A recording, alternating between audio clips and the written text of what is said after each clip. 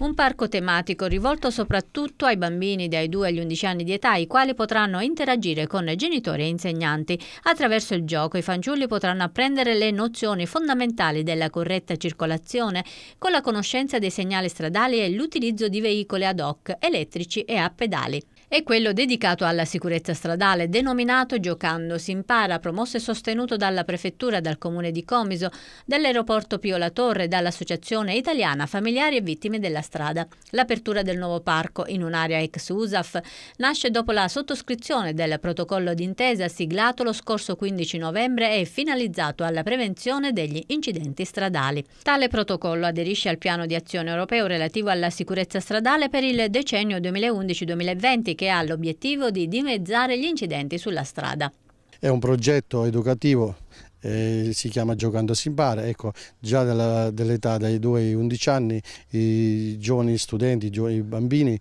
verranno in quest'area, in questo parco, dove cominceranno le prime nozioni di codici della strada, ecco, giocando con delle macchinette elettriche, delle macchinette a pedale e dove impareranno le nozioni del, che sono i futuri nostri utenti della strada. Questo primo step è rivolto ai bambini dai 2 ai 11 anni, ma poi sarà esteso ai, bambini, ai ragazzi dai 11 ai 18 anni. Ecco, in particolare nella fascia d'età i 14 anni che si accingono a prendere primo, la prima patente, il patentino, e dopo ai 18 anni per la, la, la patente tradizionale delle autovetture. I bambini potranno dire a loro anche ai loro genitori adulti che, eh, come si sta sulla strada. Purtroppo noi siamo molto indisciplinati in questo, in questo, in questo contesto non diamo un buon esempio ai bambini. Questo parco, essendo notevolmente grande, ci permetterà in, nel prossimo futuro di allestirlo come un parco per bambini e non, dove metteremo dei giochi, stiamo progettando di fare dei percorsi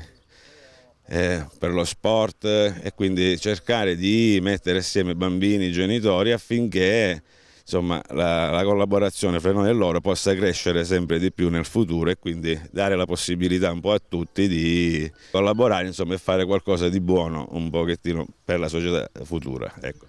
Voi metterete a disposizione anche i mezzi ai bambini per poter effettuare questo percorso? Sì, certamente, abbiamo preso alcuni mezzi a pedale elettrici, quindi motorette, macchinine,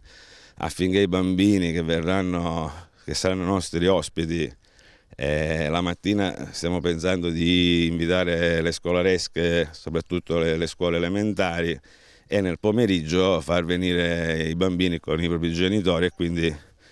tramite i nostri collaboratori insomma, dargli una mano e cercare di insegnare loro come si deve guidare in maniera responsabile e consapevole.